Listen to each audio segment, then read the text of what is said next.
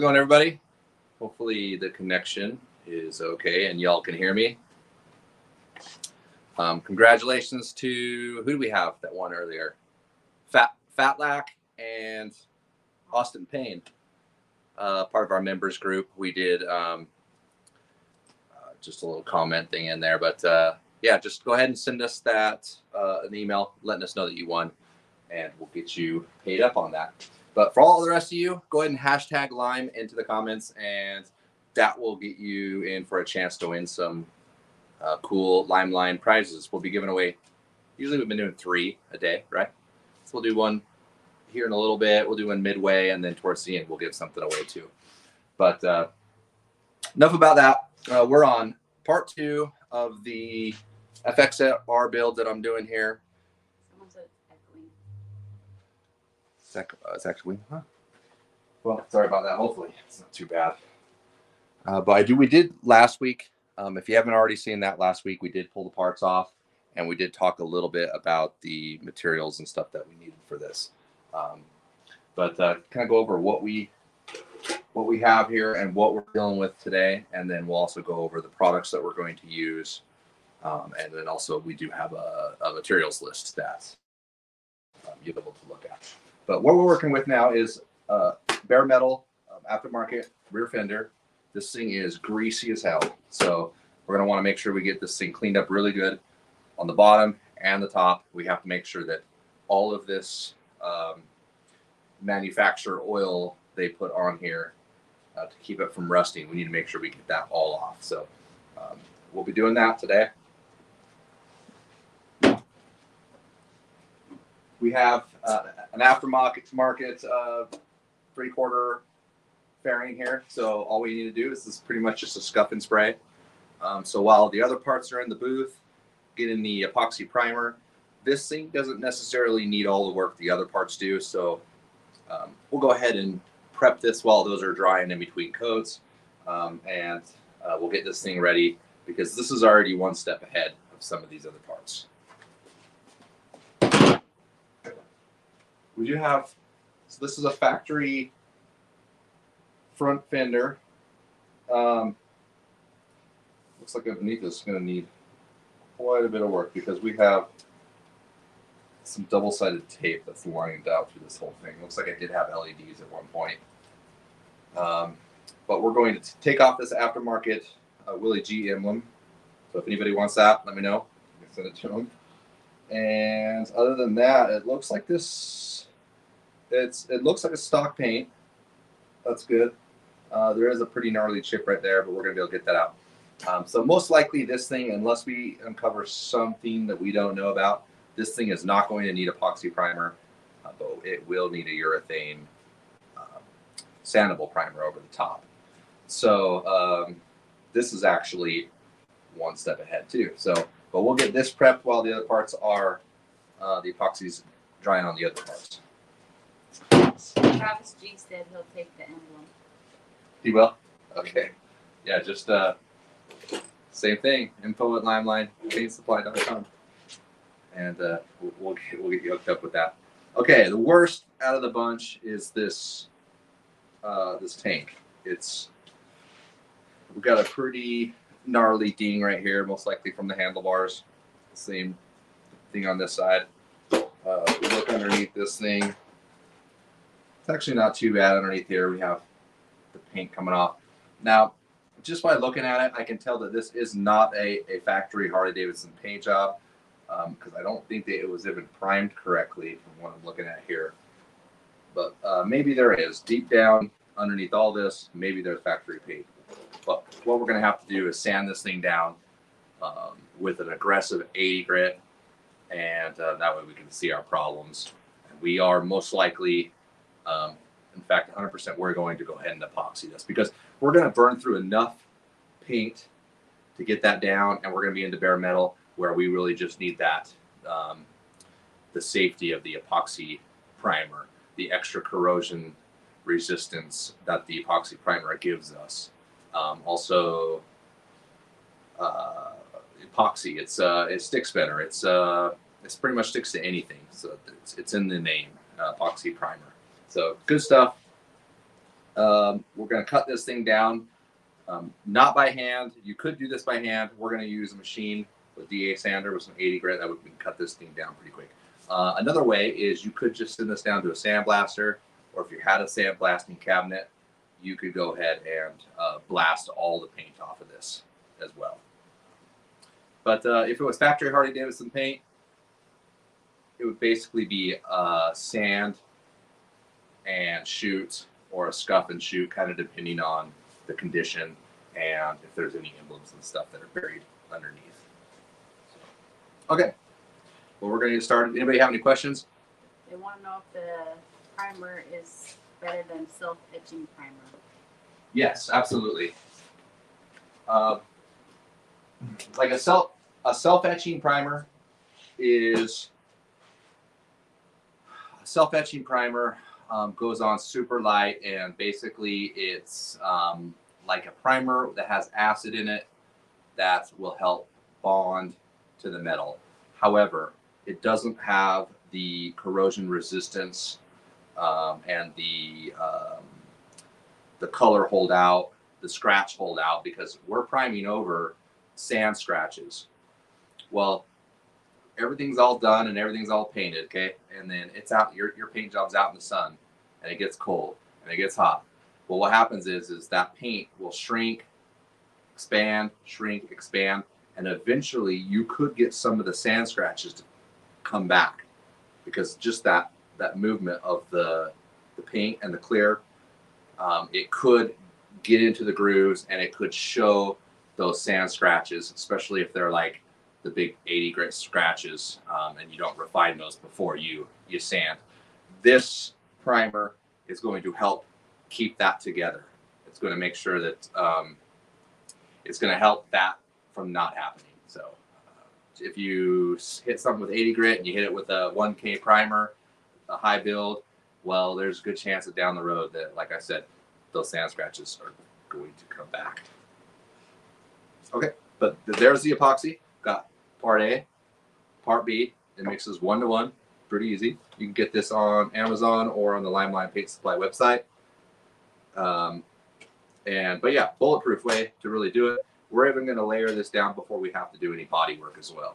Uh, I have a couple of videos on that, but um, I feel like, and I have been taught this way that by layering down the epoxy primer on the bare metal and before any of the body work is done, it's going to provide that protective layer. Um, if you stick in body filler straight to bare metal, well, it can be soaking up uh, moisture um, and really, who knows what's happening between those, uh, between the metal and the other layer of body filler.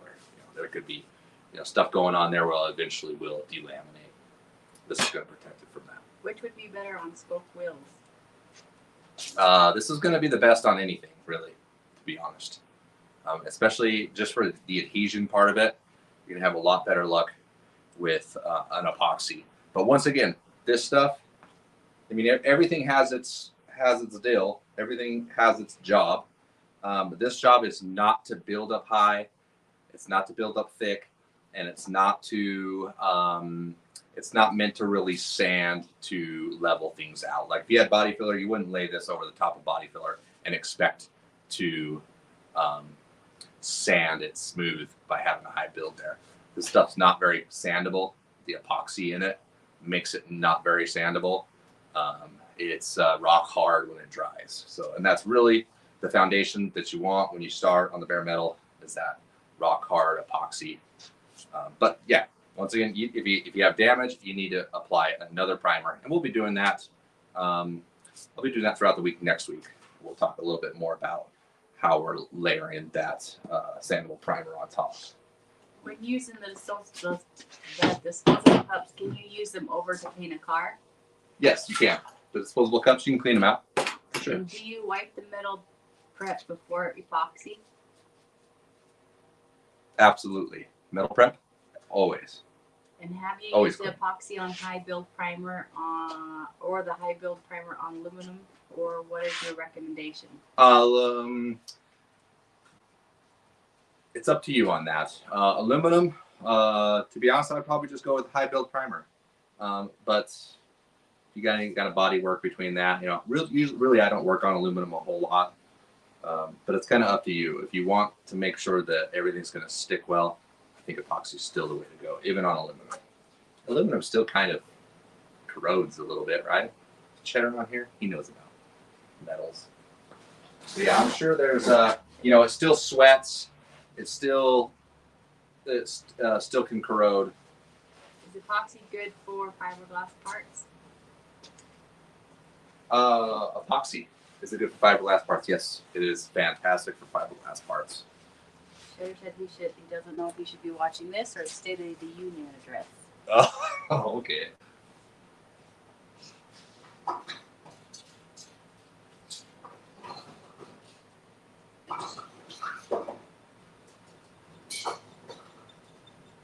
There it is. Okay. Did you get the big show pictures from World of Wheels? I didn't see anything now. Big show. Uh, hey, you want to put up that list we have real quick? We do have the list that I gave to uh, all the members. Have it. Uh, there is some spelling issues on there. I did notice. We won't go over that, but um, here's the list that we're going to need. This is one of the few lists that we're going to need for this. Uh, what's speaking? The mouse? Okay, don't. uh, uh, what do we got on the list there, babe? Wax and grease remover, glass cleaner, microfiber towels. Towels, got it. You got microfiber towels again, 800 grit, 180 grit, 600 grit. Okay, got it all. sandpaper, Sanding sponges, Sanding sponges. Lime Line epoxy primer two quart kit. Yep. That's what we Limelight just showed. high build sand primer one quart. Latex gloves, a dust mask, respirator, eye protection, and a paint suit. Got it all. So that's the list you're going to need to start out with um, the primer. Right now, I'm using a wax and grease remover that's in a can. This is from our friend at um, Eastern. Is it Eastern Speed Shop? I think it's Eastern Speed Shop. Uh, sent us this uh, wax and grease remover from Spray Max. That uh, Wolfie said he'd send those pictures to you on Instagram. Oh. Oh yeah. I think I got him. Yeah. Sorry, Swampy. I have no idea. I cannot remember. I'll go back and look. But one thing that's very important with this right here is you can see that I, I got that soaked up, but we need to make sure that we're getting up underneath all of these. You see all these grooves right here? This this like spot welded. Uh, it's where the, I guess that's where the wires run for the tail lights. But those are all just soaked. If you don't get this off, the primer will literally um, just crack and and just lift off. It's crazy. It will not stick to this oil at all. Wolfie said he sent you the pictures of the scallop heads and the jugs too on Instagram. Oh, okay. I'll have to check those out. Maybe I missed them.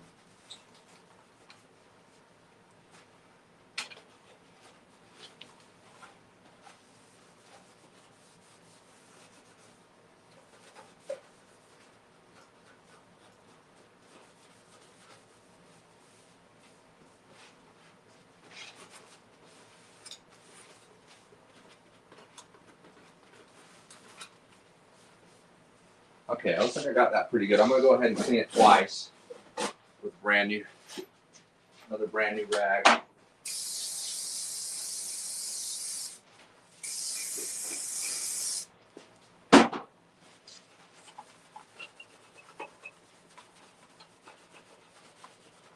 Now that stuff's cutting into it really good.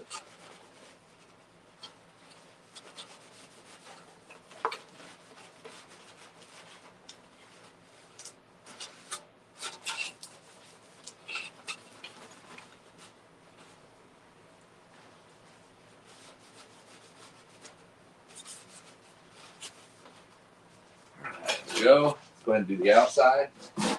Um, it's very important that we clean these before we sand them. because we're going to 80 grit this, even though it is bare metal. Um, however, if you don't clean them beforehand, all you're doing is when you sand it, especially with 80 grit, is you're just driving the um, contaminants into the metal, and then you got to get them out at that point. So while this thing's pretty smooth, we're going to go ahead and make sure we get all of that grease off of here. How would you recommend taking care of runs in intercoat with flake? Um, if you're if you're running it with intercoat, you're spraying it um, super wet, and you're probably not waiting in between coats enough if you're running that. But um, you have to let it dry. You're gonna have to cut it down, and then you're gonna have to reflake reflake it. And then when's the white base coat going to be available on Big Cartel? Uh, it actually is already. We don't have labels for it, but it is for sale there. You can see it. Actually, I think it's the first or second item on the top. That uh, the quart of white base coat is available.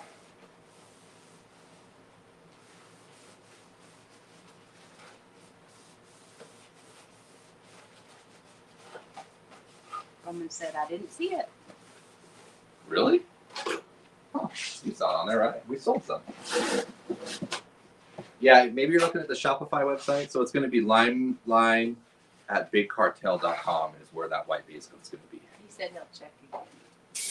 He knows how to order. He's ordered from there. It's just hiding from him, probably. No, no, it just big white label says white base coat. Okay, once again, cleaning this thing twice because the first time just doesn't quite do it. In the interest of low budget builds, can you get away without using epoxy primer, especially if you're having to fix dents and block sand multiple times? Yep, you can. You can. Um, the uh, urethane sandable primer is also direct to metal, and um, it's just another way to do it. You know, that's the, the way you're do, you're going to do it, the way you plan on doing it is fine. More than one way to skin a cat, right? Did you show how to get the lid off disposable cups new to the system? Get, get the lid off of it. Yeah, The disposable. yeah. Oh, the collar maybe. Mm, Uh, the lid should come off. Yeah, I mean, sometimes if you spill around the edge, that collar will stick on there. And uh, He just said he's new to the system, so maybe he's just not sure how to do it. Yeah, it just should be the collar should be should lock that that cup in. Uh, if you look on the Amazon website on that or the Amazon uh, description on those PPS cups, it'll show you exactly how to use those. Roman said, found it. Got it, huh? Oh, is Roman that asked that? Yeah. Oh, okay, I knew that. All right. Nice and clean, looking good.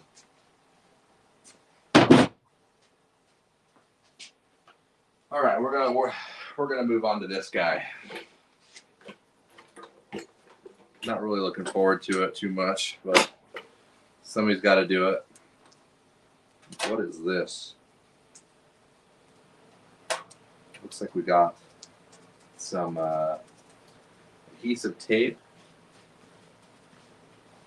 You can, uh, if you have some uh, 3M, has some really good general purpose adhesive, adhesive cleaner, um, or Goo Gone will also work.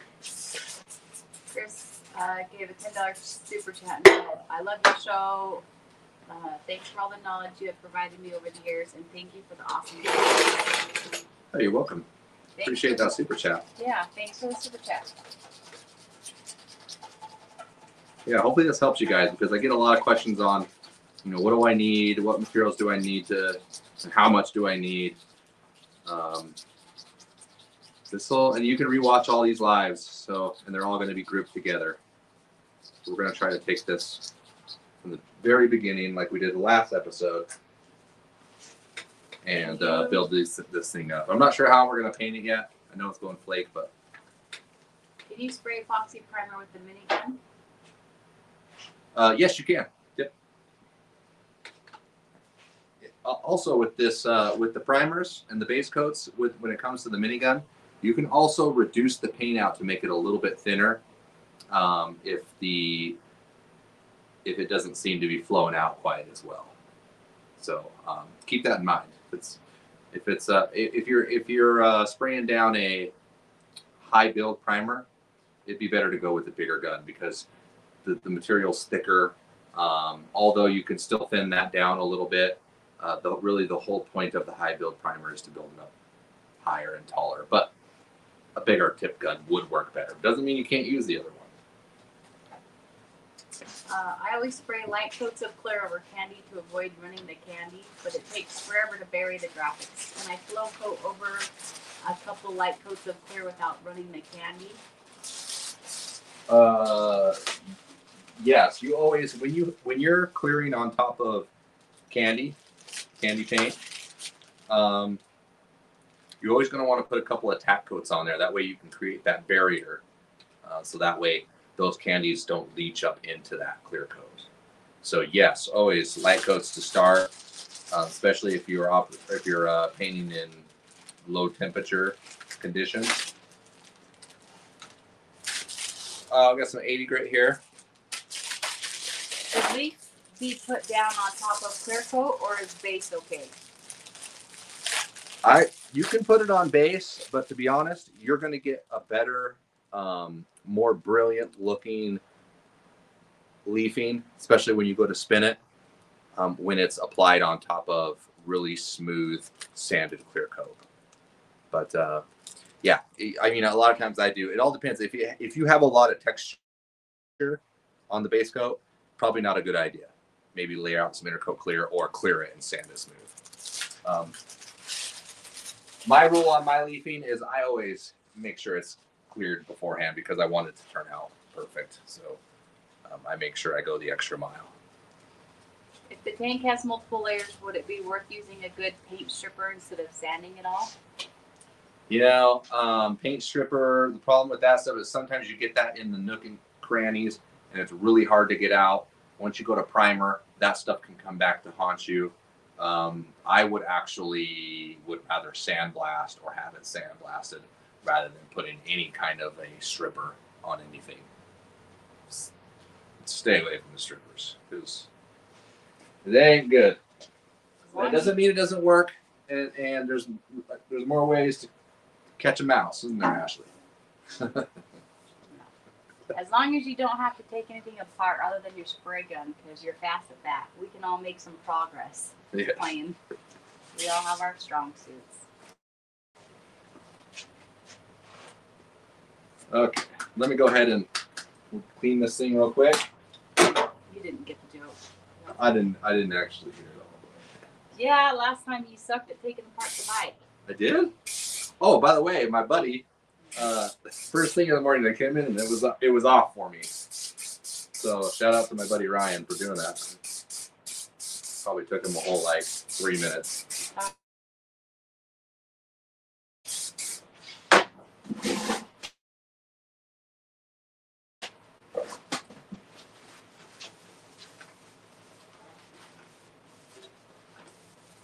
And we're gonna clean this again.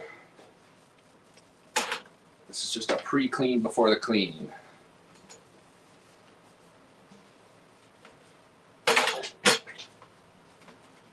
Stay away from the shippers. It's definitely good life advice.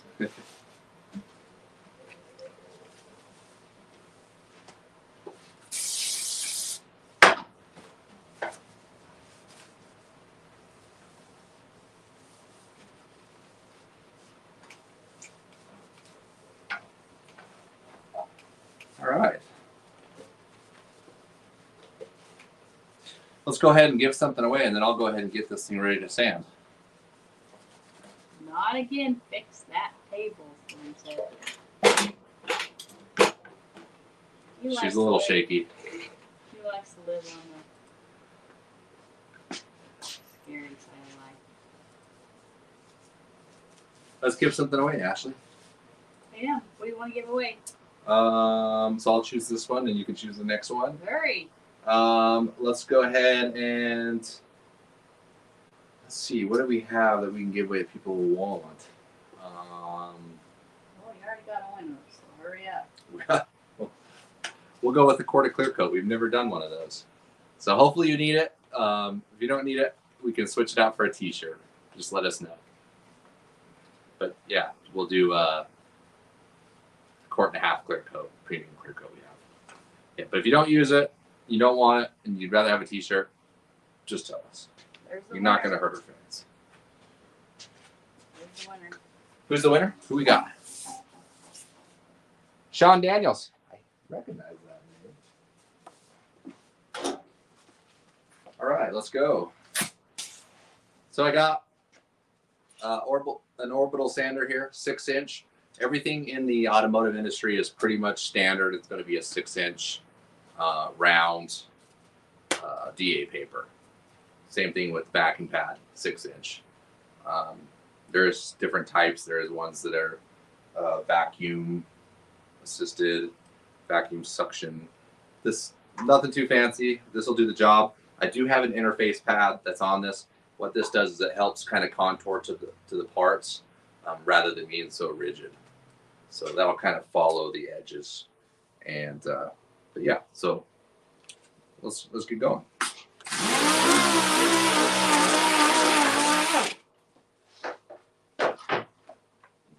What do you use to clean your gun after you use the sizing glue? Uh, I like to use glass cleaner. You can also use alcohol, rubbing alcohol.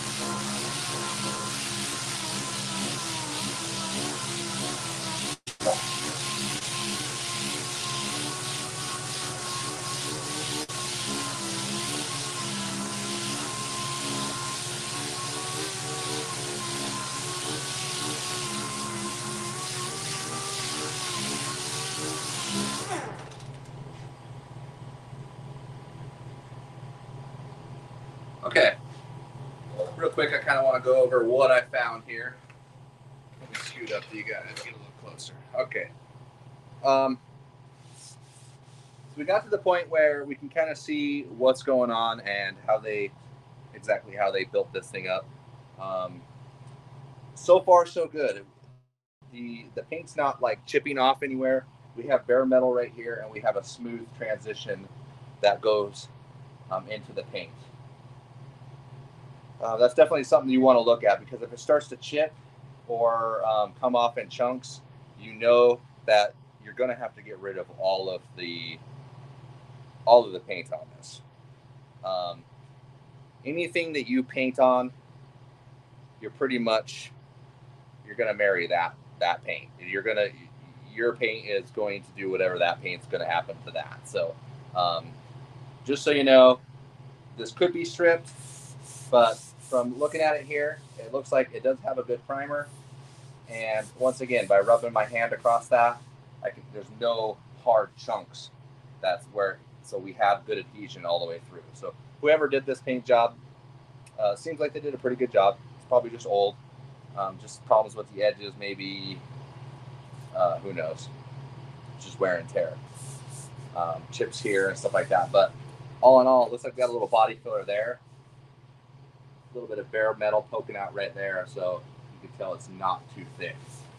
Uh, but you never know what's going on underneath these things because you can you can paint and and clear over like a massive amount of of problems um, just by slapping a bunch of body filler on it and um, smoothing it out and remolding it and painting it. Nobody would ever know. So that's why it's good to go through and see exactly what's going on. Um, I do would I would like to pop through to bare metal in, in a few more of these spots so we can make sure that um, there's nothing crazy going on underneath this. But so far, so good. It's all holding up good. Uh, we're going to be able to paint directly on top of this once I get it sanded. But we're going to, once again, just do a little bit more investigating and uh, make sure we get this paint cut down. So um, that way we can add that primer.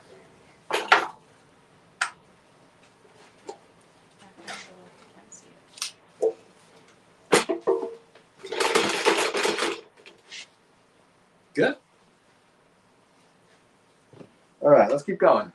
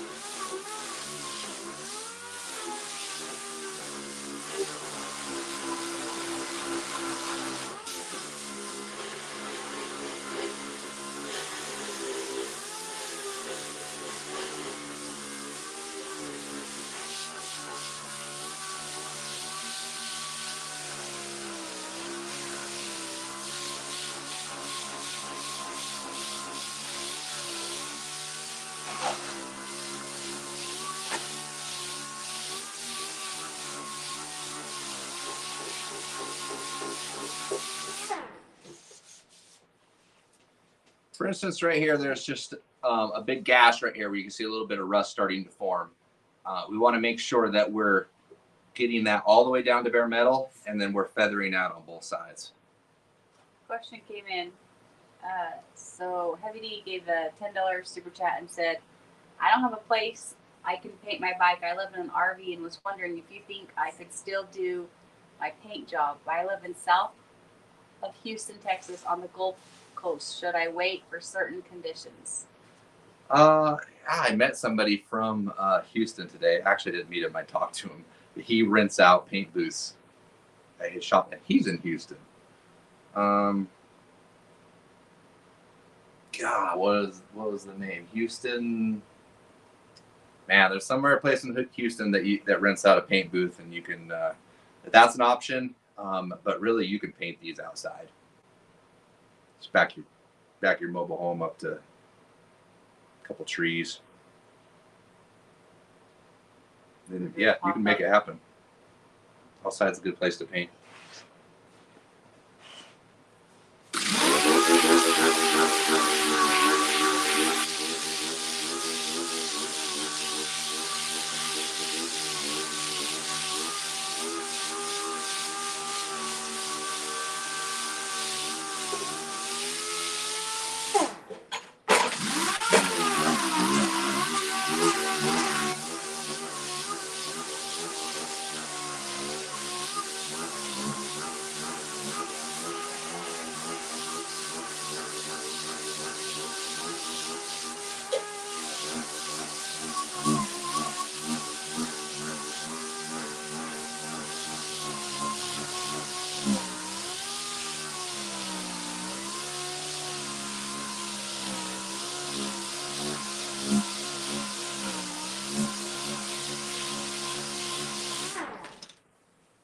Right, there we go. There's the.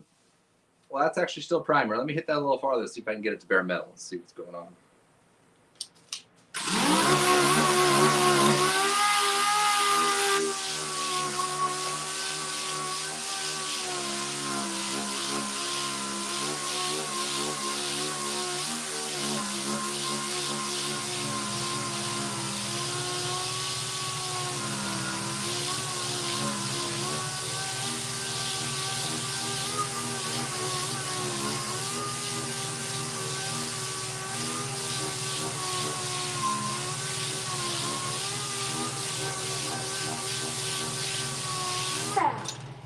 All right, there's the bare metal right there. It looks like they did have a little bit more of a repair on the. There's a little bit of body filler poking through. Um, everything still feels good. Everything's staying intact. Uh, the only real issues we have are just the paint chips on the edge, and just like some chips and scratches that we had uh, throughout the paint. So whoever painted this before seemed like they did a pretty good job. Uh, but once again, like I said, if you're going to uh, warranty this paint job for a customer, you need to understand that you are taking some chances when it comes to working on other people's uh, paintwork. If it's if it's factory paint, different story. Keep the paint, keep the primer, scuff it down, sand it down, and, and paint it. In this case, it's already been messed with, so we really need to do some investigating. But so far, so good.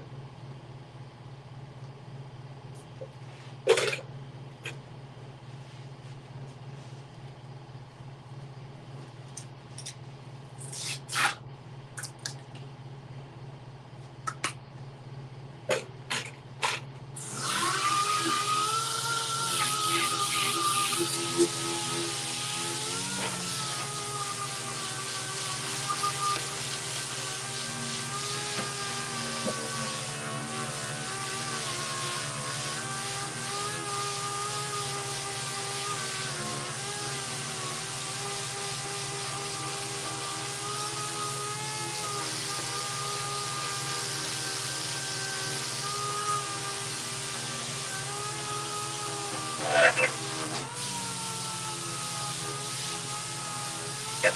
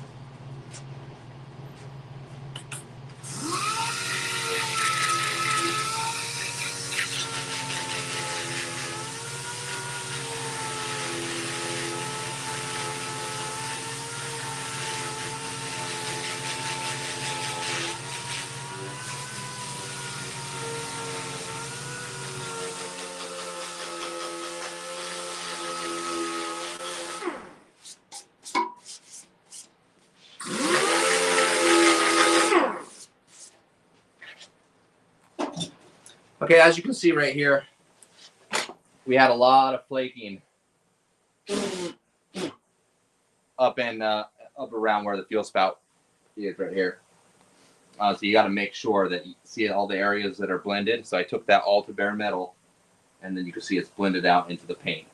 But very important, we do have a smooth, soft uh, blend there. So uh, once again, no real problems with that base coat. Swampy said, I like that you pulled Dolphin Glaze uh, putty in their filler. What are you using for putty? Uh, I like the dolphin glaze too, actually. I like the fact that it comes in a a tube, like in a like a blister pack. It comes in a blister pack, and it's yeah, it lays out good.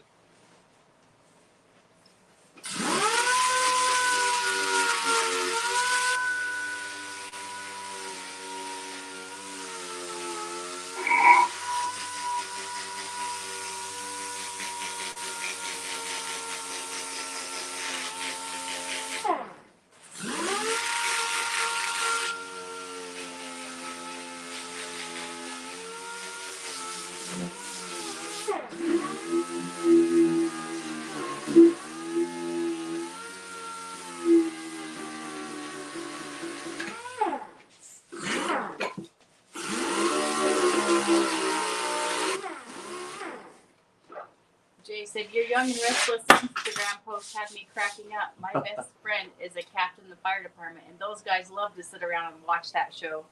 Oh, really? Did you watch that when you worked at the fire department? no. What? Did you guys watch Young and Re- uh, Days of Our Lives instead of Young? and no, we'd watch Tosh.0 is what we'd watch. Oh, Not dad. uh, but I did watch it when I was a kid. It wasn't Young and Restless. It was Santa Barbara. Only because my brother was watching it, and all I had to do was watch one episode, and then I had to know what happened in the next episode. So yeah, I watched that for a minute. what different effect would you get by spraying silver instead of black under your metal flake? Uh, less of a less of a sparkle, um, but it all depends on what flake you're using. If you're using really fat, large flake, you're gonna want to probably spray that over uh, silver metal flake, or I mean a silver base coat.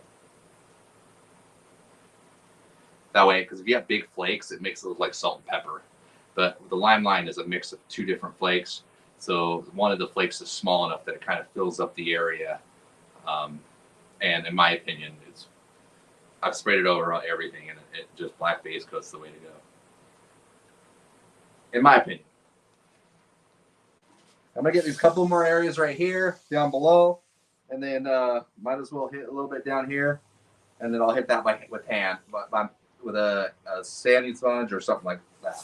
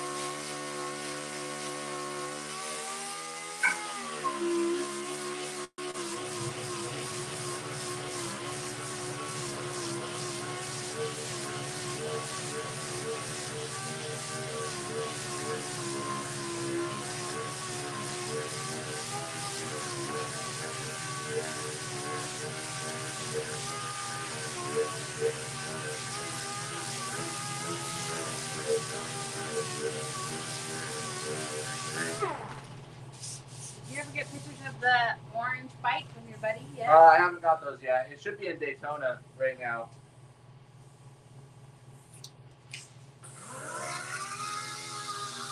Okay. Woo.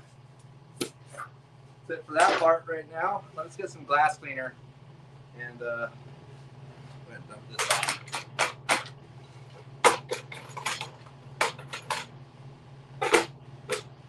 Let's get some glass cleaner on this thing. Uh, so glass cleaner is just a waterborne cleaner. Uh, it's good for removing sanding residue, bugs, um, any other kind of water borne contaminant. Ooh, there's a lot of grease in there still. But any glass cleaner will do, just not like the, you don't want to use like the lavender smell or something. You never know what that scent could do.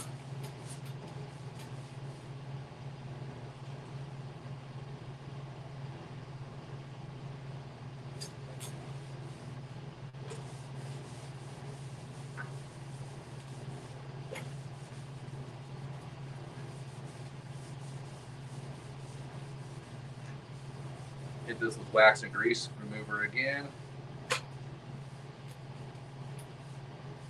get this. Yeah, let me hit this with. That was really greasy in there. Missed that. Look at that. Why didn't clean in there?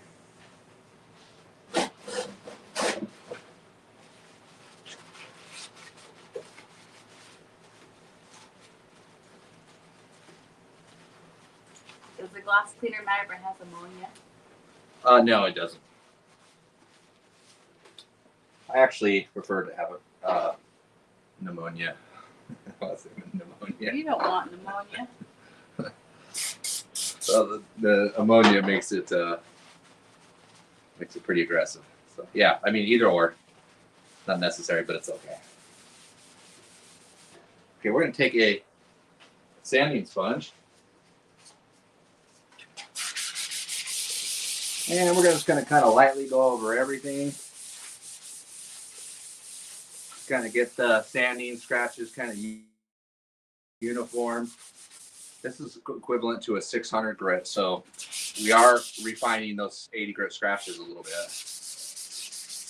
Windex is okay to use? What's that? Windex is okay? Yeah, Windex is okay. Yep. Uh, it's better to use like an auto body supply brand, but I mean, Windex is fine.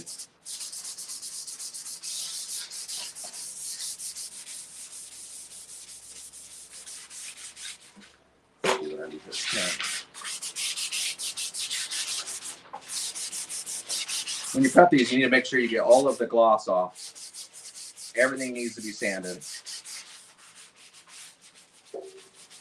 Got to get into the corners. Got to get underneath. Paint needs something to stick to.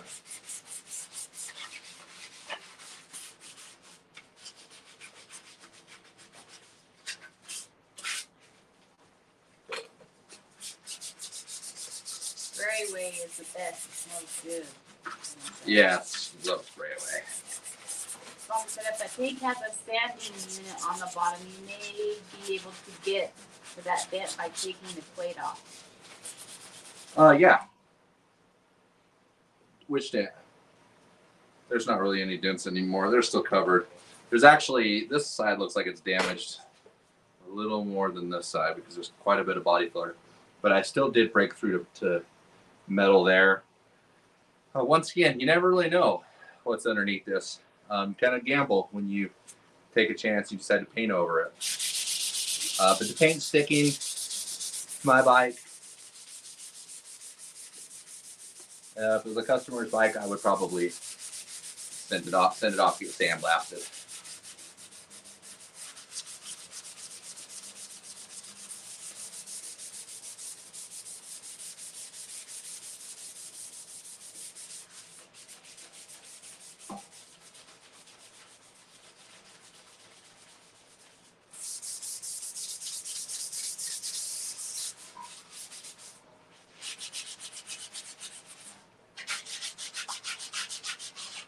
Okay. Moving pretty good here. Down there a little bit. All right, let's go ahead and hit this with glass cleaner.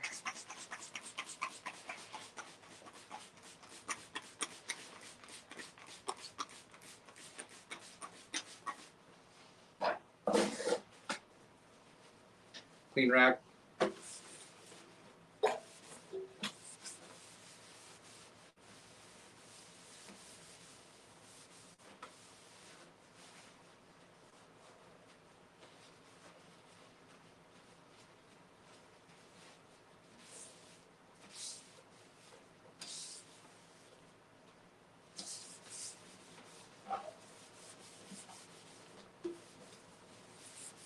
Said, "Hey, I accidentally forgot to remove a piece of tape before I clear coated the skateboard I painted. Is there a fix for that?" Um, yep, you just have to get it out and then re-clear it. Hopefully your clear is not too thick. But yeah, you can usually get it out with a with a, a razor blade. You're gonna have to pull it out. That that happens quite a bit to me.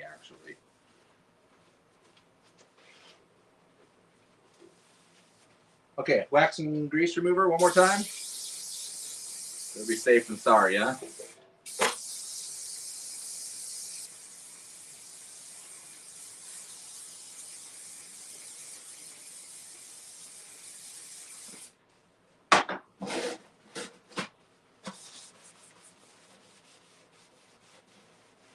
What's the best way to remove Harley Davidson's factory graphics from a 2009 Road Glide?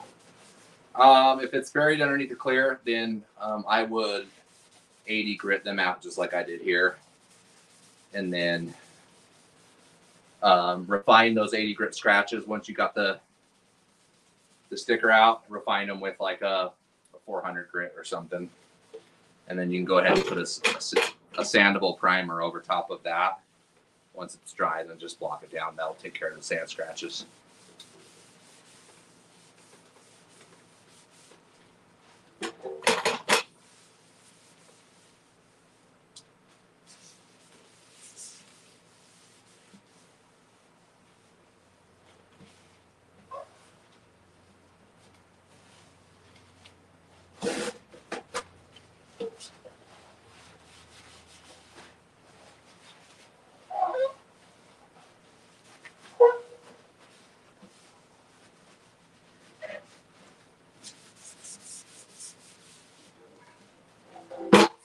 Okay, we're looking good. I'm gonna go ahead and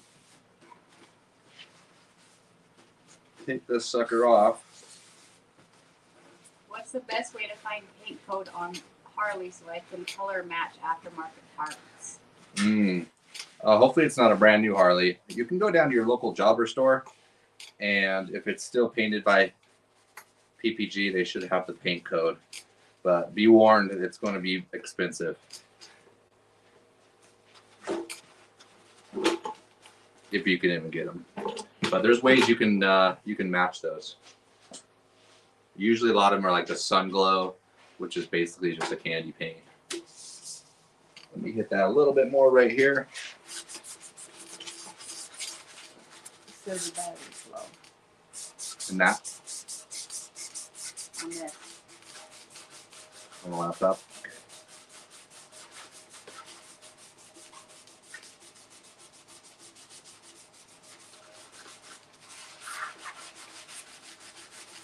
Uh, Joe says my buddy Utah local got his shovelhead featured in Easy Rider magazine last month. Paint job was done by you about five years ago or so. Paint looks awesome. Really? Wow. I think Five it was Shane. Oh I yeah. I saw that. Yeah, it was Shane. Was it Shane? Joe? I'm pretty sure it was Shane. I'm pretty sure I saw that on his uh, post. Okay, with these styles of uh, bungs, let me show you. These are not the uh, desirable style of fuel bungs to have because they do they are prone to leak. Um, most newer Harley Davidsons are going to have like an inner lip inside of here that you can tape to. Um, this does not. This just has like it's just welded around the edge. There's not really a spot where you can stop the paint. That's where problems with paint peel and stuff happen. Uh, what I'm going to go ahead and do is I'm going to tape up the inside, allowing the uh, the tape to stick up, and then I'll kind of fold it over. You'll see that in a minute. But that's not going to take care of the fact that these are still uh, these bungs are still uh, designed very poorly. But uh, like everything, we're going to deal with it. We can't change the fact that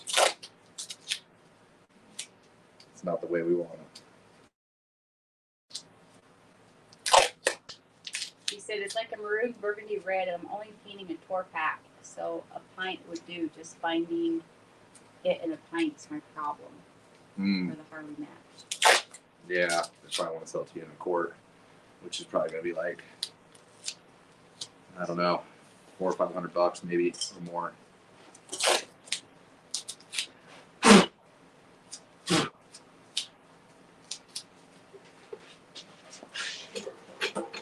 See how I did that? Just take the tape and you're going to stick it to the inside. If you wanted to touch up one side of a tank, would you have to rub the whole tank back and re-clear the whole tank, or can you tape off and clear the area you fixed? It depends if you have a spot where you can break the paint off. If there was a dash right here, um, where you had a seam and you were comfortable with having a line there, yes, you could do that. Uh, me, I wouldn't even spend the time to do that. I would, if- you have a blemish on one side and say you need to re-clear it, you would just scuff the whole thing down, you know, 600 grit, get it nice and clean, and then fix that problem and re-clear coat the whole tank. It's up to you though. But yeah, you could if there was a spot to be able to stop the paint and, and not see it. You gonna plug this in, right? I gotta go grab the extension cord. Let me finish. Uh, there we go. We kind of just fold those over. That allows the the primer to kind of flow over the edge right there.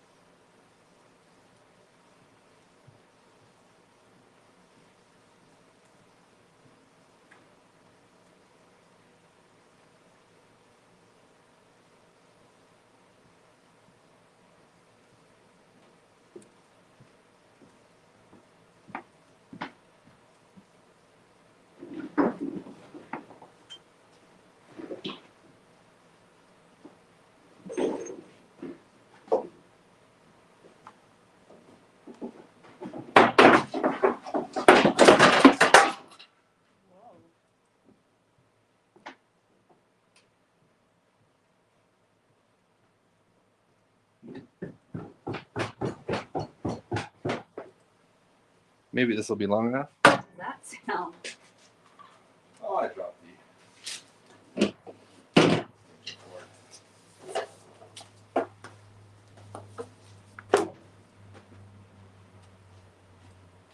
Got a charger right there.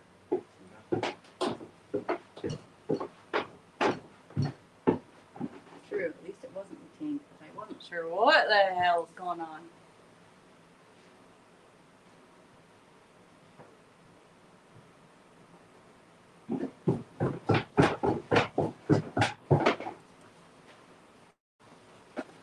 Here you go. Yep, thanks. All right. We're about ready to go. Well, we're about ready to mix up some epoxy primer. We got that taped up. We do need to tape up the bottom of this petcock too. You could uh, pull this off. I'm gonna go ahead and leave it on, and then just tape it up because there's a little bit of fuel left in there.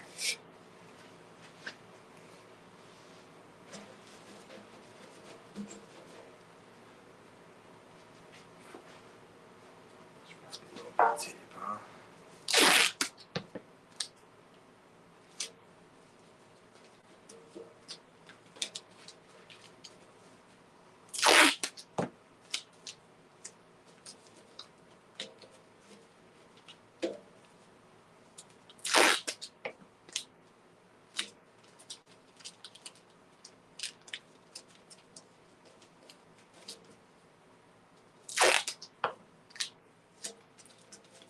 Okay.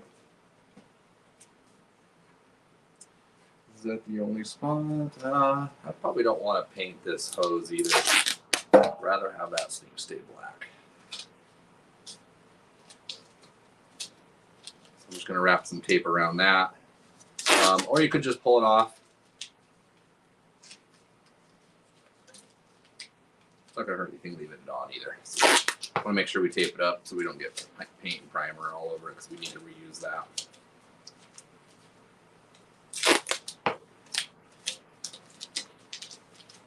Okay.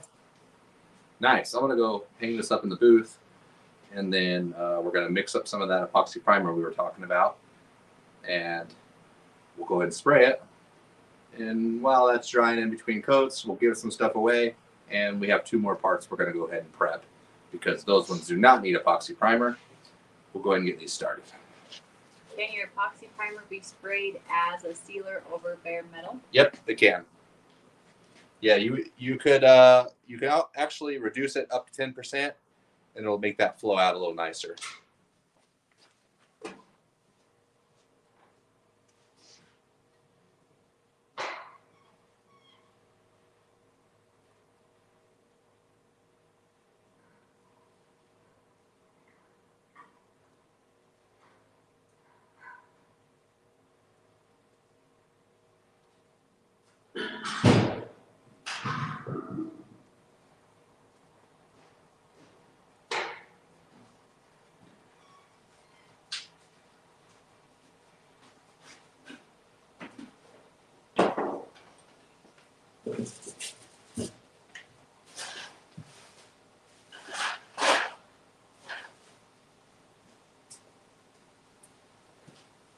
Okay.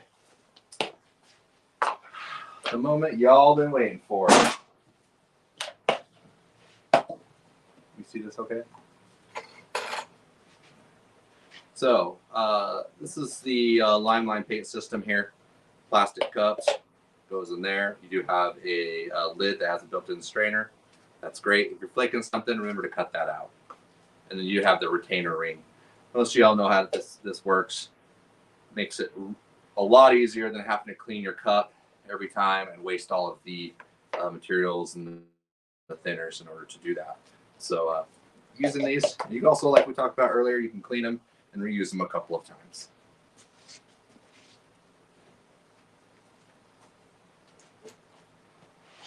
So uh, not all epoxy primers, but this epoxy primer does require that it's mixed uh, one to one.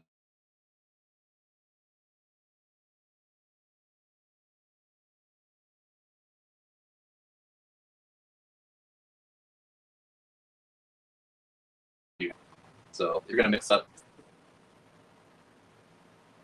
Am I good? I You froze. I'm frozen. Back.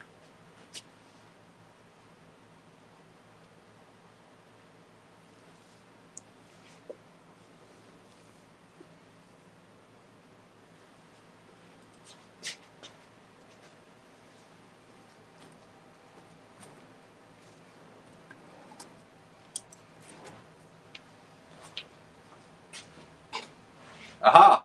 Oh, I'm still a little glitchy.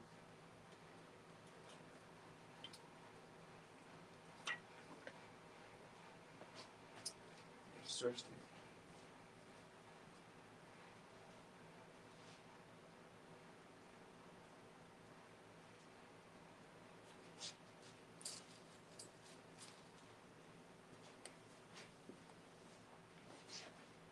We're gonna make sure this is mixed up good. Hopefully, I'm. Oh, am I good? Looks like it. All right. Once again, if you didn't hear me, one to one on this mixture, part A. We're gonna do. Uh, let's see, how many ounces do we need in order to cover that good? I feel like we can do it in eight ounces. It's just those two parts. We do need to spray the underneath of the rear fender, so that's going to be a little bit more material. But uh, I feel like if we went maybe, maybe we should go 12 ounces. Nah, I think eight ounces will do it.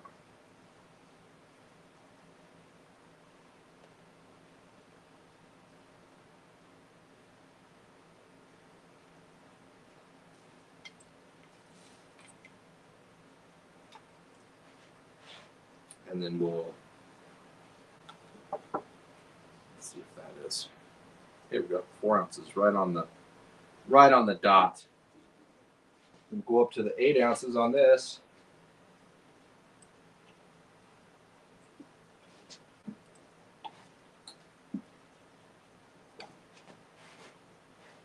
Use our stir stick and mix this up.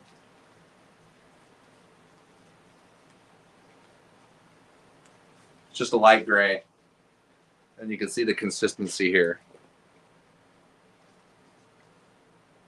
Uh, It's pretty thin. It's not as thick as what a sandable primer obviously would be.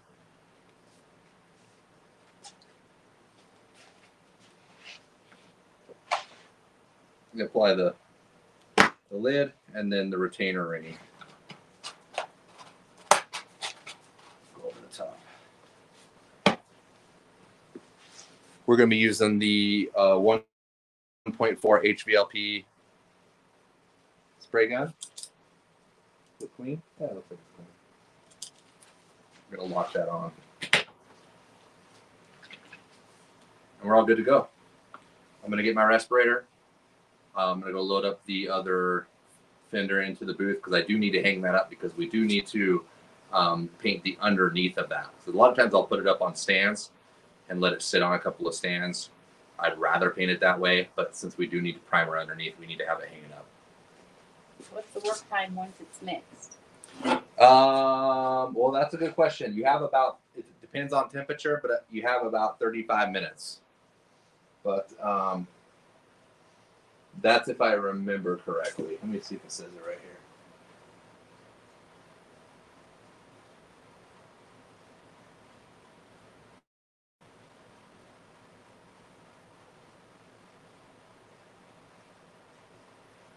Uh, you have about 30 minutes.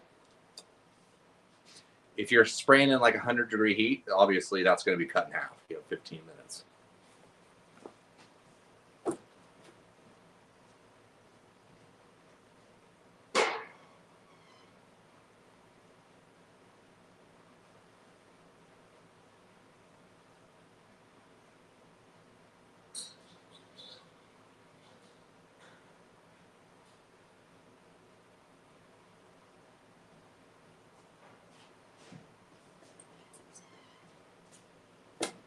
So epoxy primer doesn't need to be sanded.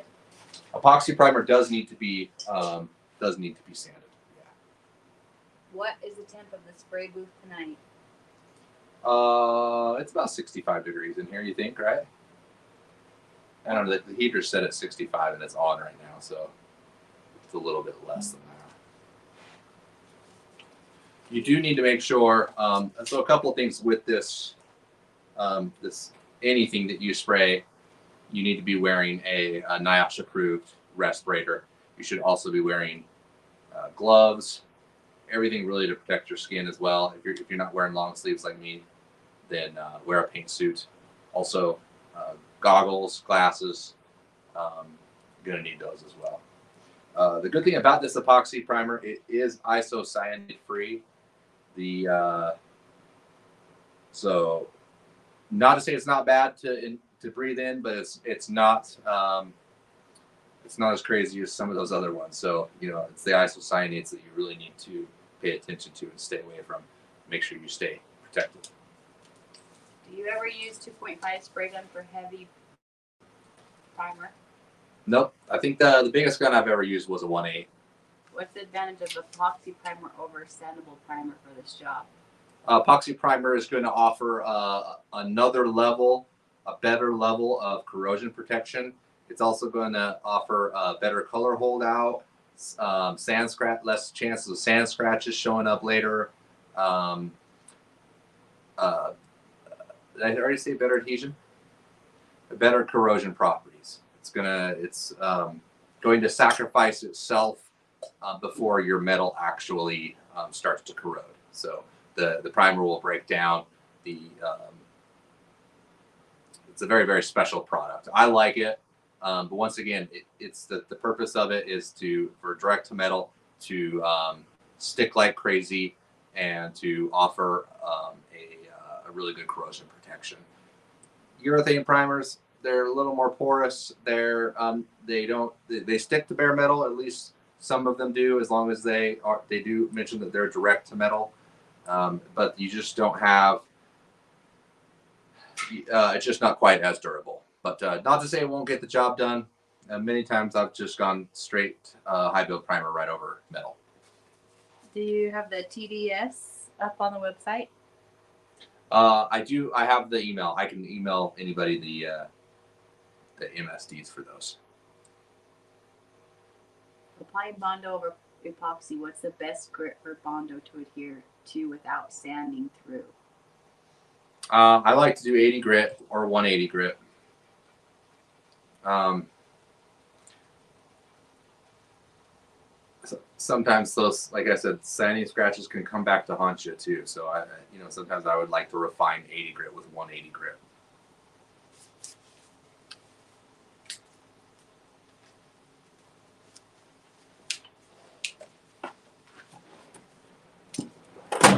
All right. I got those hung up. Uh, let me go plug my gun in. I'll come back and grab you guys. Uh, we'll take a trip into the booth. We're going to apply our first coat. We'll come back here. We'll talk a little bit about uh, painting the plastic front fairing and how we're going to do that. We're going to get that prepped, and we'll also go ahead and pull that emblem off for. uh, who said they wanted it? Somebody did. We'll pull it off for what's his name? Travis. Travis, and um, get that prepped as well. Those parts aren't going to need epoxy. We're going to go straight to the uh, sandable primer. So let me get this set up. I'll be right back.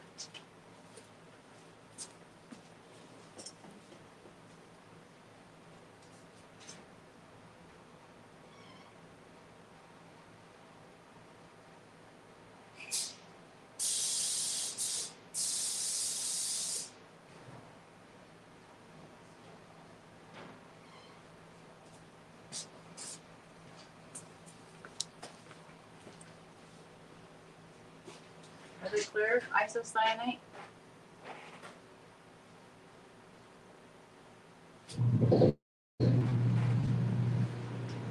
Sorry. Are the clear as we sell isocyanate? Yes, the the um, pretty much any clear coat, uh, two part clear coat is going to be isocyanate. Yes. Um, as far as I know, I don't know if there's any isocyanate free clear coats, but uh, epoxy there is. So.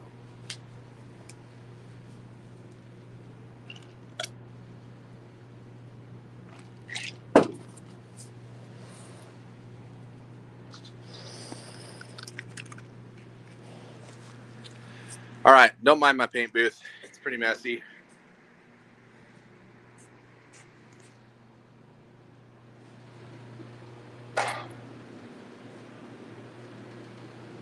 We're gonna kind of double check everything.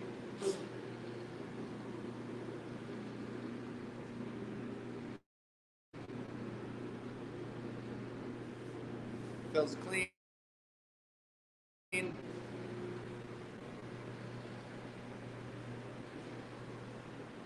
Okay.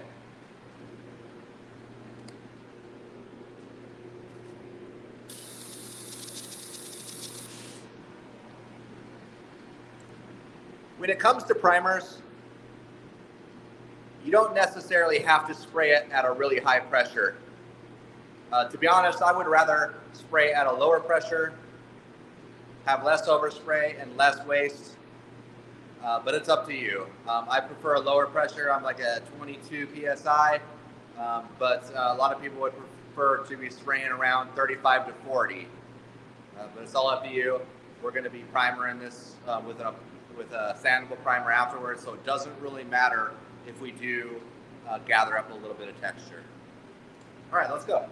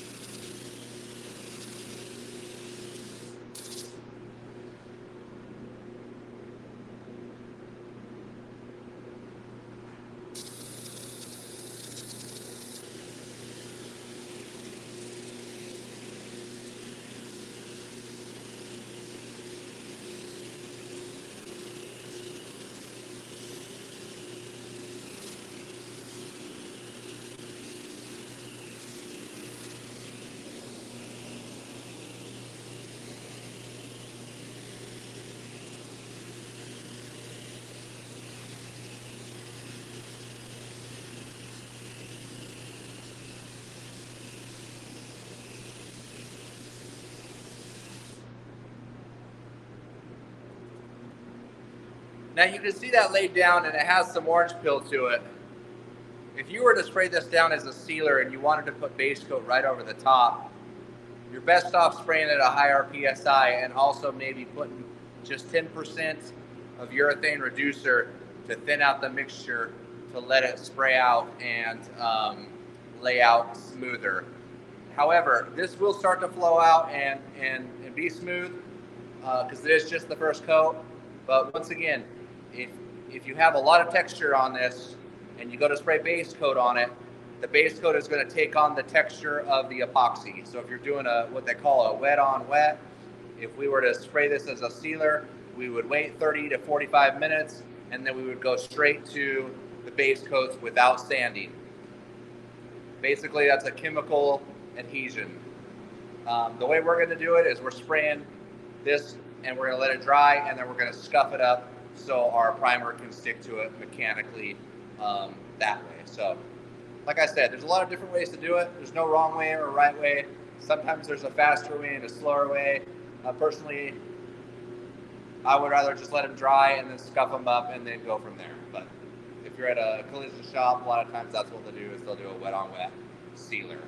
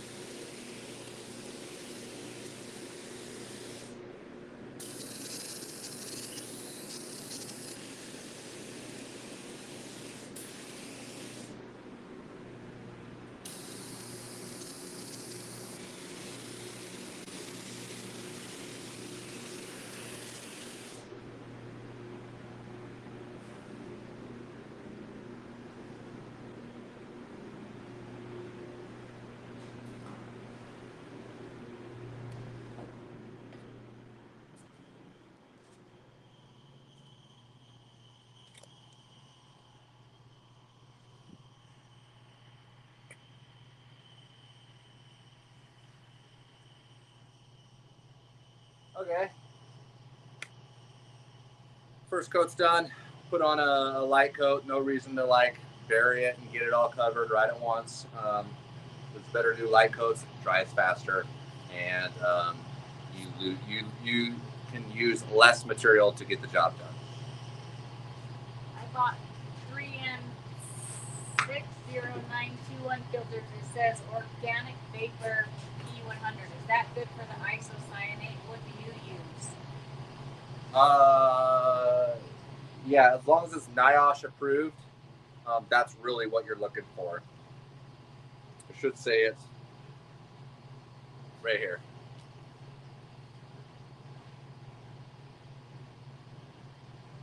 Right way, there we go. NIOSH. That's what you need to look for. I'm not sure on the other stuff. Uh, 3M, it's probably good, but make sure that it protects you from um, isocyanates and stuff like that. So you're saying you're looking for a textured finish, then going to sand it smooth? Uh, you'll see, you'll see that uh, you're not really looking to get a textured finish. I, I, I did spray that at a lower psi. Um, that way, we didn't have all the waste of materials and stuff like that. Um, it, it's all up to you, but it will be smooth once it's. Uh, but there will be a little bit of orange peel. We're not really looking because these parts, once again, they're going to get sanded, sanded, scuffed, not sanded smooth. They're going to get scuffed, so the sandable primer can stick to that that will build up over that and then we're going to cut that down smooth because the sandable primer it sand it's meant to build and it's meant to sand kind of like almost like a body filler a sprayable body filler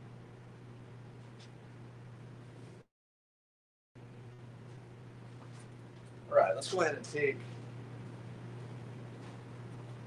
i'm going to take this adhesion uh, cleaner that's it adhesion cleaner adhesive cleaner, adhesive remover. We're just gonna let it soak up underneath that. I'm trying to save this for you, so how long have you been in it?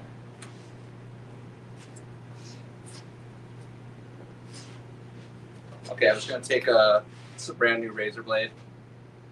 I'm just gonna run it down underneath. Oh, gonna come off really easy. What's the difference between acrylic clear and Uh, usually it would be acrylic urethane clear. Um, so yes, acrylic urethane is what most uh, clear coats are.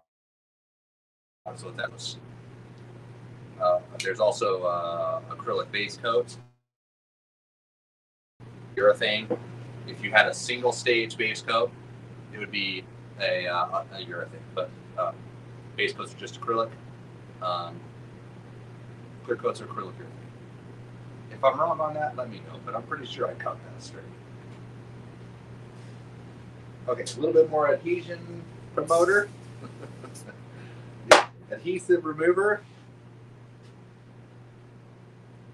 And I'm just going to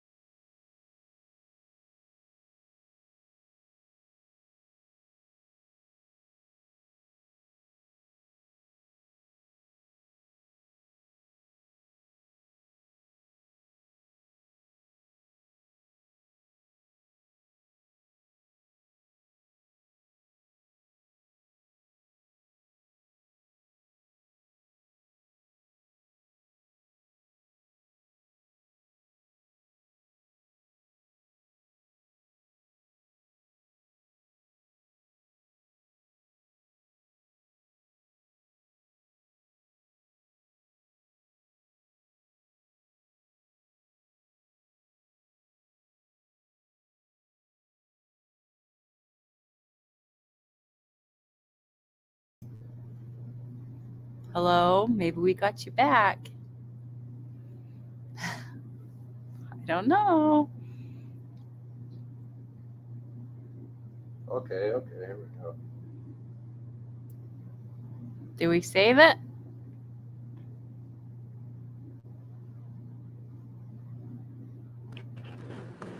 Ah, we're back.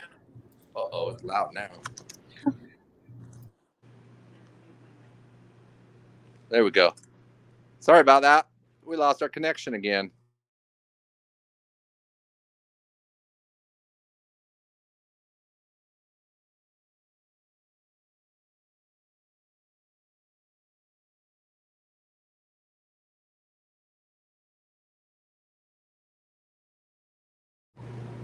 Sorry about that, guys. Thanks for hanging in there. The troopers. Let's get this um, cleaned up really quick. Wax and grease remover.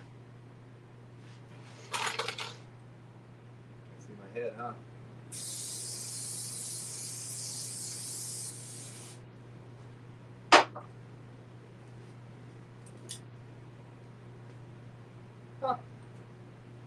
Plastic.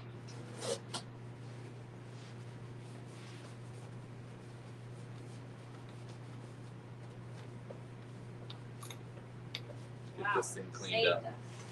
We saved them. We saved it. We are headed. Uh, we're kind of like in. There we go. Oh. I know y'all want to see my face and the part. Let's see. Okay.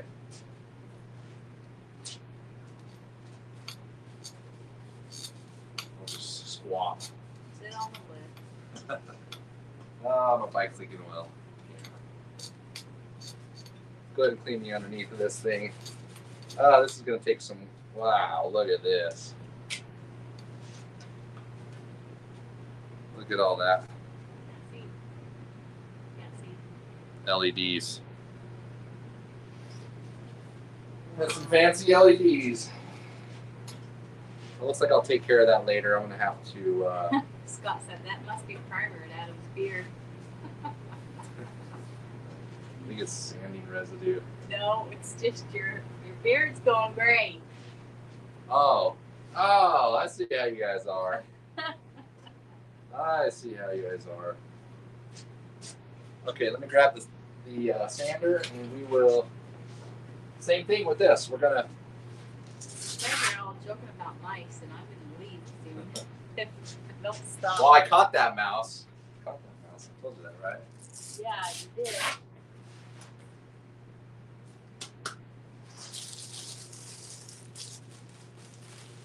About to run out of here again.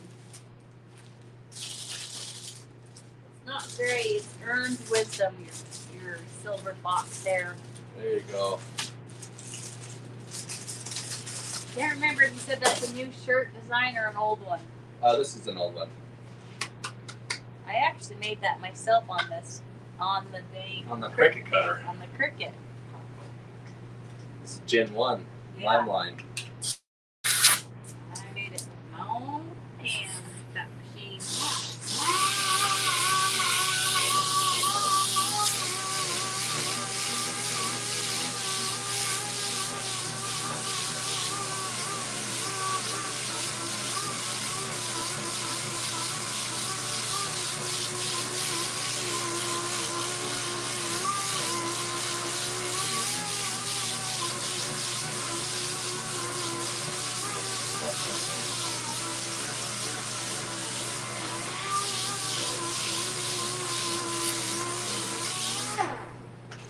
You see how fast that was? That was just half the fender. So we want to make sure we get these pinstripes out, even though they are smooth. And uh, actually, these are painted on. Um, usually there'll be a pinstripe, like a taped pinstripe, uh, but they're painted on. So you know we could get away with not even sanding those out, but there is a little bit of ridge there. Um, so we're, we are going to go ahead and sand it out. You can see all we're doing is just cutting this down, uh, making sure we're getting rid of all the gloss. You can see on the edges here, we still want to hit that. Definitely all this inside and out. But uh, sanding that smooth.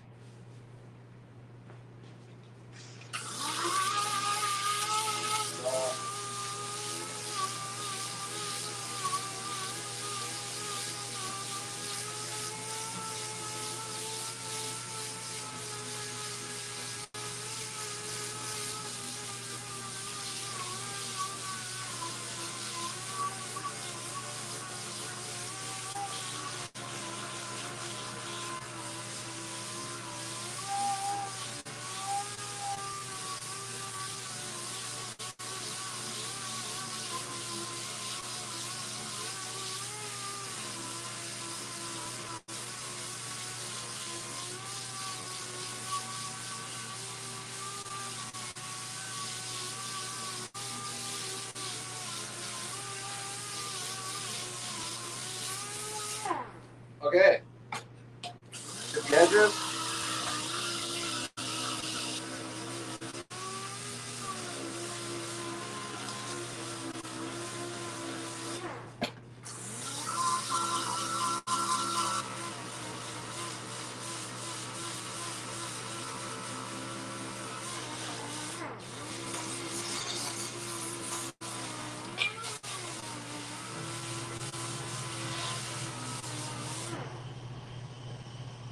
All right. Breaking up again. Yeah. All right, let's take him into the booth. Back in the booth. Let's put another coat on this, guys.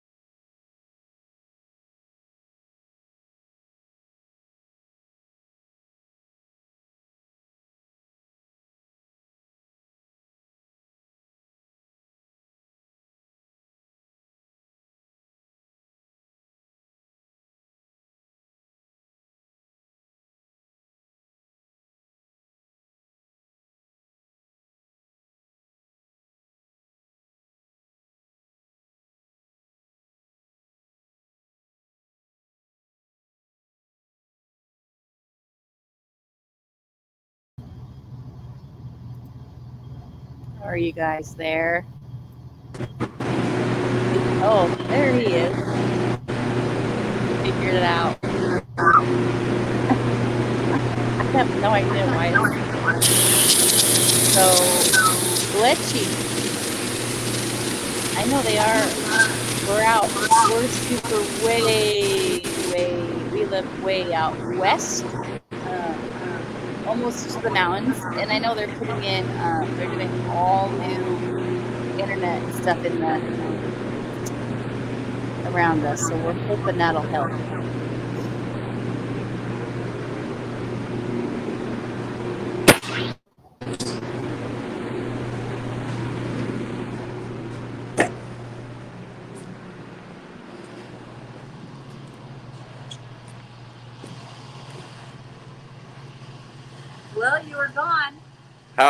How how long did they get any of it at first? It was really glitchy at first. Huh. And then it went black. And I got us back on, and then I saw you got, I don't know, what the hell. Oh, jeez.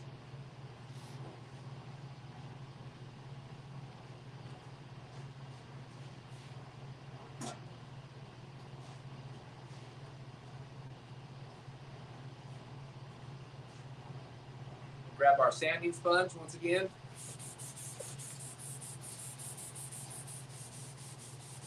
Do you have a Wi-Fi booster? No, I don't. Mr. C said a Wi-Fi booster might help. Uh, well, I have these. That what they've been? What's that?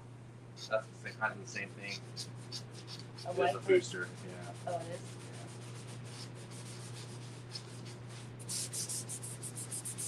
Yeah. What we really need is a hard nine.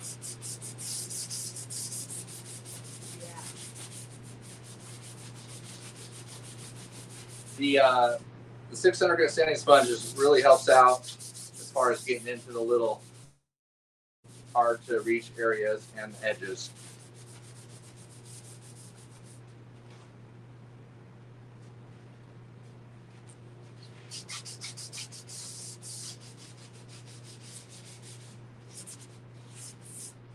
Well, there we go. Looks like we're pretty good. We're gonna get this cleaned up um, and this will go into the um, uh, sandable primer with the other parts. Um, so we're good to go here. I'll clean it one more time before it goes into the booth, but it's going to sit here for a little bit, so I'll just go ahead and leave it. Last but not least, we do have uh, plastic fairing. Now I don't know if this has been coated with a paint. It's hard to tell. It looks like it may have been coated with something.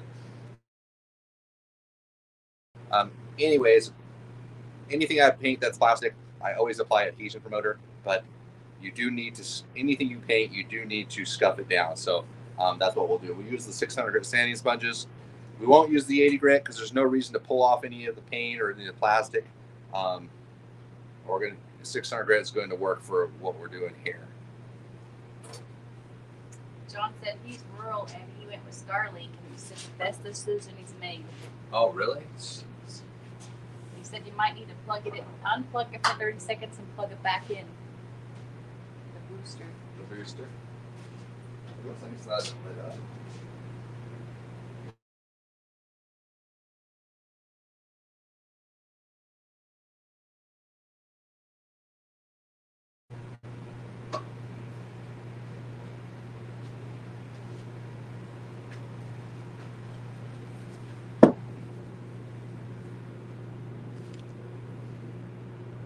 Oh, mine's actually working still.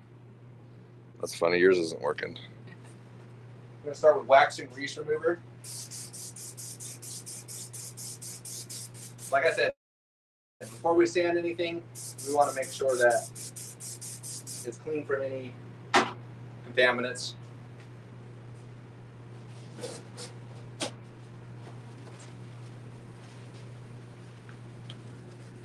No internet.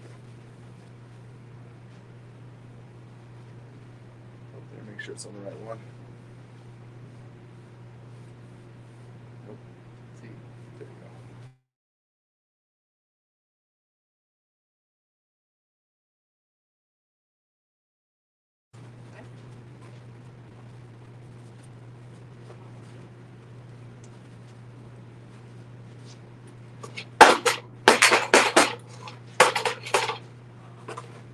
All right, got it clean.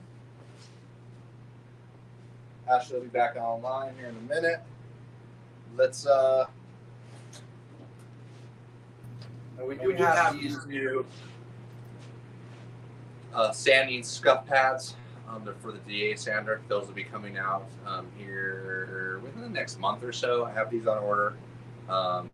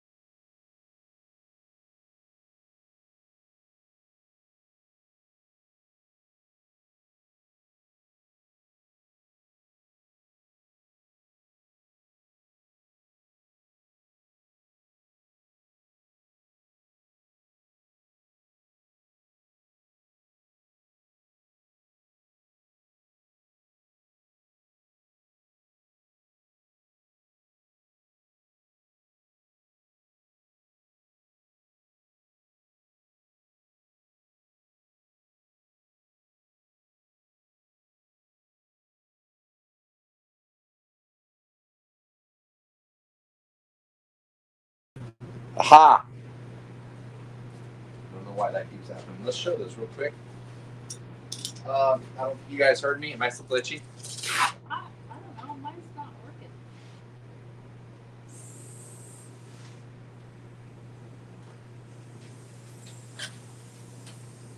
Where did that go?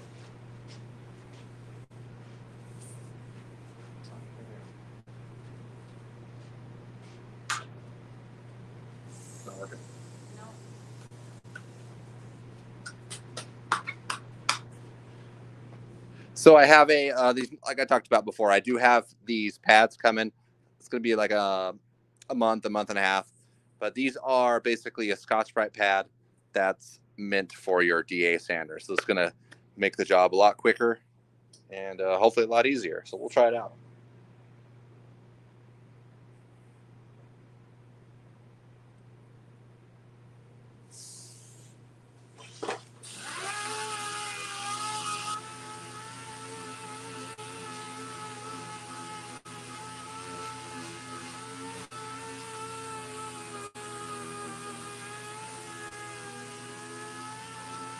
That's great. Look how fast that was already.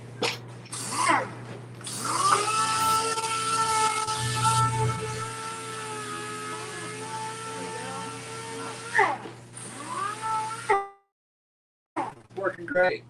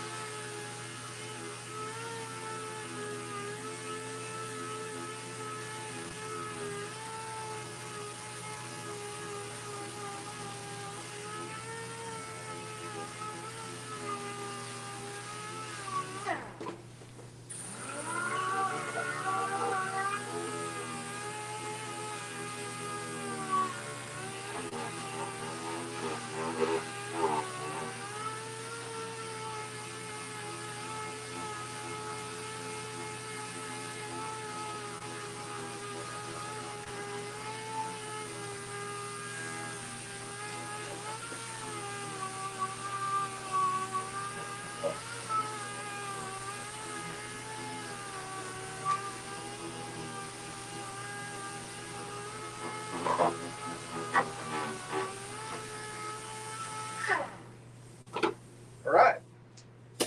Man, that was easy. We're gonna go ahead and use 600 grit sanding sponge on all the hard to get areas. Like you want to make sure, like a, a prone area for paint to lift and to peel is like right here, like in these valleys. If you just leave those gloss and you don't scuff those down and you paint over that, what's going to happen is um, the fact that there's kind of a valley there, um, and there's not enough adhesion there because it's still slick and smooth. There's nothing for that paint to stick to. So what's going to happen is it's just going to lift up right on that edge, especially if there's any kind of pressure that's pushing up against that, like the windshield that bolts to this. Um, any kind of pressure it's going to push to that. It's going to cause that um, to lift. So common problem on you see it all the time. People don't take care of their edges. They don't scuff them up and then that's like the first place where uh, paint shrinks and it wants to lift.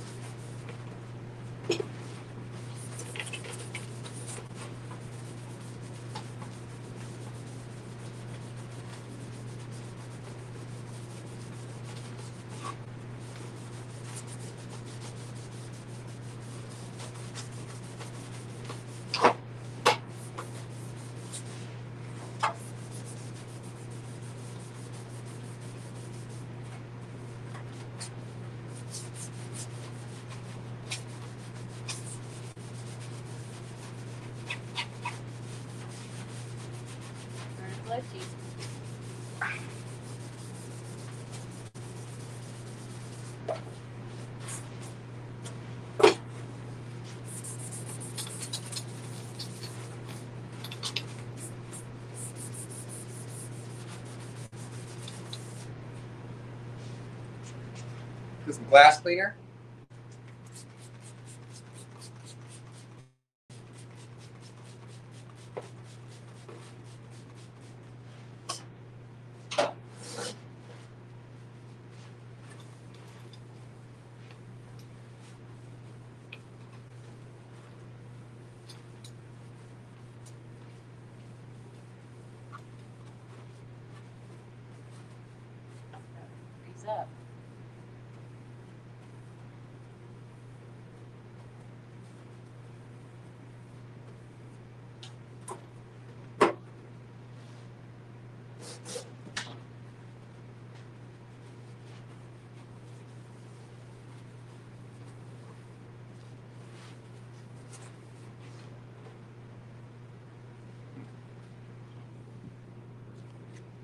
Think yours is just as glitchy. I don't know.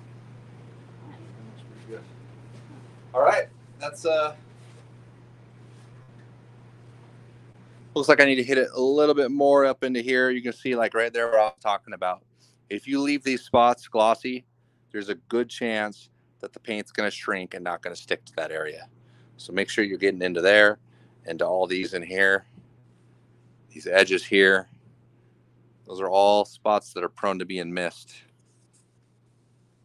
You can see in here I got pretty good, but um, yeah, you need to make sure you get them all the way sanded down so all the gloss is gone. Let's give something away because that's about it for us. Hopefully, he said, be cool if you can find an FXR fairing for it. And Josh said, by chance, will you have the Scotch Brite pads in gray also, or just red? um, I, I they are just going to be in red. What kind of heating element do you use in your booth? Uh, I don't use anything for heat. Just everything's air dry. When's the bright green Lime Line glass cleaner? Uh, how did he know we have that? uh, it's not coming out. That's just basically I just make my glass cleaner with a uh, with a coffee concentrate. Put it in a spray bottle. what grit is the red Scotch Brite pads roughly? Six hundred grit. All right, well, let's see if we can spin the wheel. Let's spin it. What are we giving away? I don't know. You choose. Uh, we'll do a leafing pack, huh? So we'll do the silver, the gold, and the bronze leaf, and um, let's also give them the glue. That way they can get that. stuff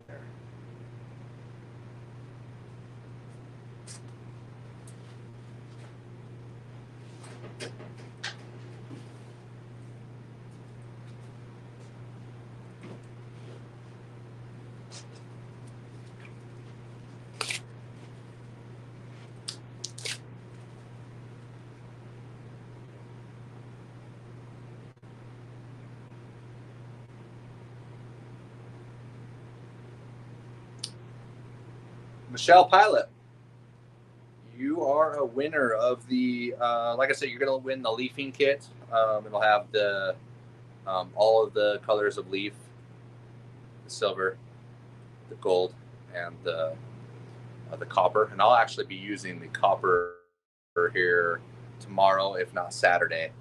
Um, and then also also the sizing glue. So if you don't want that, you can always just let us know. Info at um,